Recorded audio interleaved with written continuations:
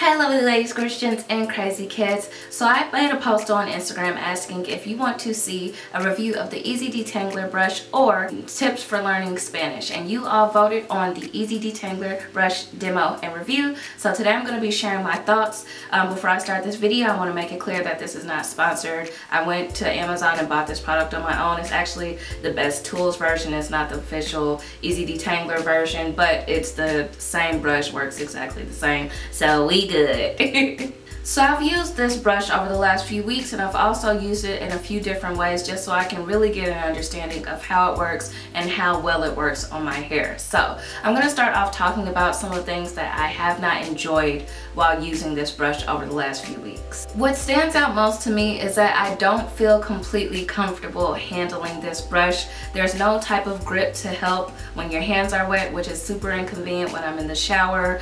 Um, I also feel like it's pretty bulky to where when I am maneuvering I have to be kind of particular with it um, and in general like when I'm washing my hair in the shower if I want to put this on my rack it's constantly falling and just uh, it just feels like an inconvenience when I'm using this brush and I really do not like that.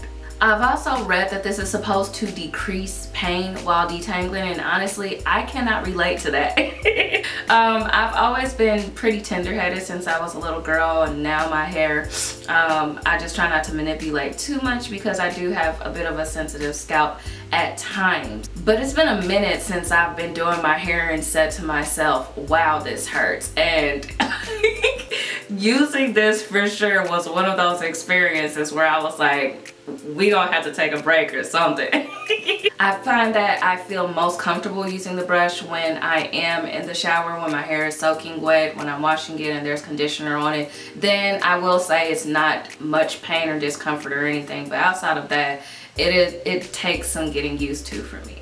And following up on my last point, I have tried this brush um, while spritzing water on my hair and then using it as like a detangler before washing. I've used it with soaking wet hair while washing in the shower and then I've used it post wash as well and even in those moments I'm still wetting my hair just to make sure it's damp enough because I feel like um, for my hair type, I don't know what it is. I will put a video so you can see what my hair looks like in its natural state when it's super wet and right after wash and everything.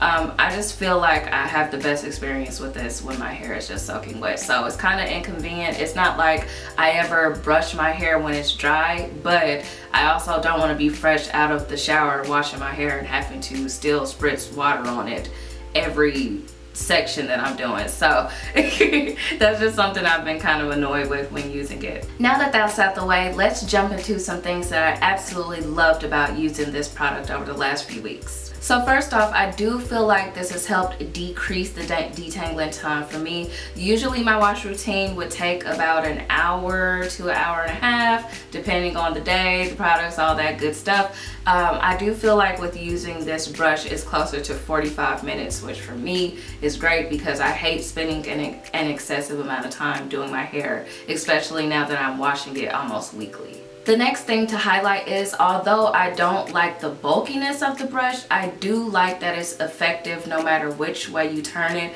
I have tried to use it both ways and I found that I've just been most comfortable using it how my hand naturally flows in that area. So towards the back, I'll do it vertically. Towards the front, I'll usually comb horizontally. Um, it recommends in those tough areas you do it both ways and I do feel like it is able to reach all areas of your hair when you do do the twists and turns like it recommends. So I do really enjoy that.